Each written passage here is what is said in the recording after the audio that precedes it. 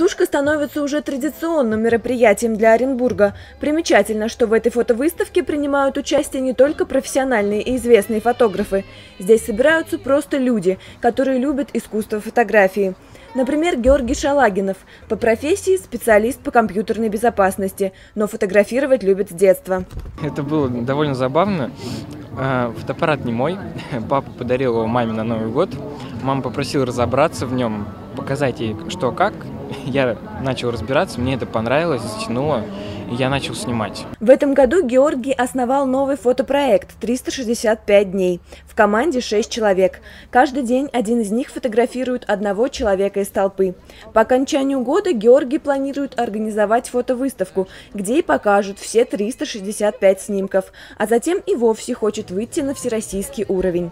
Если говорить об истоках, то первая сушка прошла в Санкт-Петербурге.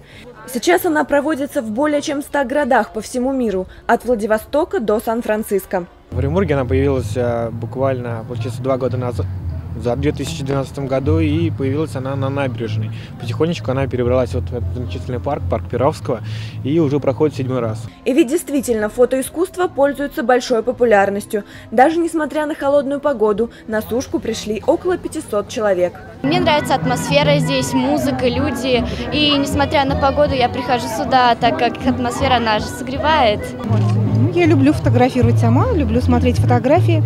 А погода, по-моему, прекрасная. Ну, это повод собраться вместе, посмотреть на то, как у нас в городе много талантливых людей. И вообще просто побыть каким-то частью общества.